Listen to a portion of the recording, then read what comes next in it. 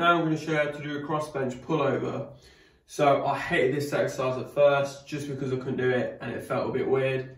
But what you need to do, and what I did wrong at first, was not start with a reasonably heavy weight to force your body to stretch further into the motion.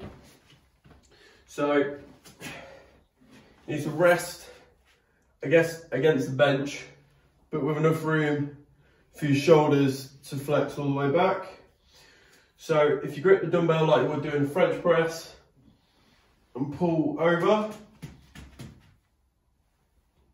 So start at the top and as you bring the weight behind you, drop your hips to create a bigger arch in your back and push back up by pulling through your hands and pushing through your hips.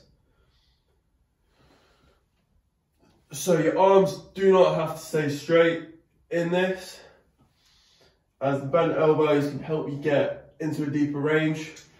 So you can come further across the bench and tilt your head back.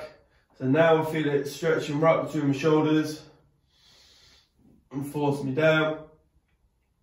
So really pull the elbows down when you're in this motion and pull them back up. It's a good exercise for stretching and also strengthening the back when you're in the arch position. So you can build up towards having flexibility and the strength to, uh, to fully express a back bridge.